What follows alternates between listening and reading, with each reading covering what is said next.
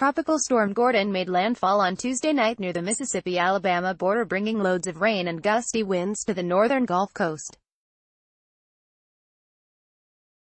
While there was virtually no impact in Texas from Gordon, we remain in a rainy pattern that will persist for the foreseeable future thanks to the influence of low pressure and plenty of tropical moisture from the Gulf. Much of southeast Texas has seen plenty of rain over the past few days. The beginning of September has been a wet one, on the plus side, temperatures have remained fairly cool for early September with highs barely reaching the 90s if at all. The trend of cooler than average temperatures mixed with plenty of precipitation should continue. Thursday will be much like Wednesday with highs in the lower 90s and lots of clouds mixed with the occasional ray of sunshine. Afternoon showers and thunderstorms ought to be plentiful, though with no significant accumulations.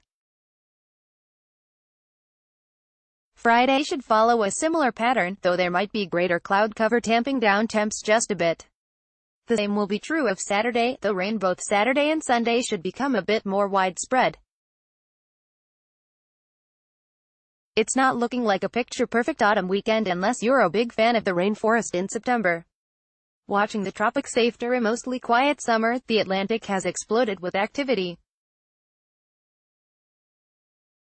Hurricane Florence, now a major hurricane, has defied the odds, battling off wind shear and cooler ocean temperatures to confound the experts and blow up into quite the potent little storm. While it poses no threat to land for more than a week, forecast models are having a very tough time figuring out if it will spin harmlessly out to sea or threaten the east coast sometime late next week. We are unlikely to know for sure until probably Monday. Behind Florence are a pair of invests from the National Hurricane Center, both of which appear to be ripe for naming. Helene and Isaac would be next on the list.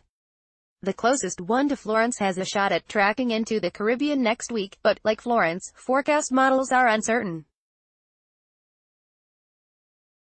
The only suggested threat in the Gulf is a potential disturbance suggested in the American forecast model in about 10 days.